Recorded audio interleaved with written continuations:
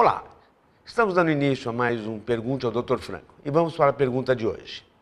Doutor Franco, a Valquíria Silveira de Cotia quer saber qual a diferença entre o inventário judicial e o extrajudicial. Valquíria, antes de mais nada, o que é o inventário? O inventário é um processo onde é realizado um levantamento dos bens deixados pelo falecido e, eventualmente, também as dívidas que o falecido pode ter contraído e ainda não foram quitadas. Realizado esse levantamento, será feita uma partilha entre os sucessores do falecido. O inventário ele pode ser judicial ou extrajudicial. Antigamente, só existia o inventário judicial, ou seja, feito perante o Poder Judiciário. Mas a legislação foi modificada e permitiu o inventário extrajudicial.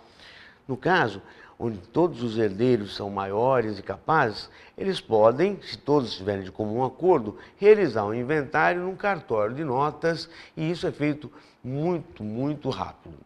Caso haja menores ou algum dos herdeiros não concorde com a partilha ou eventualmente houver dívidas, aí teremos que realizar um inventário judicial no caso dos menores, com a participação do Ministério Público para defender os seus interesses.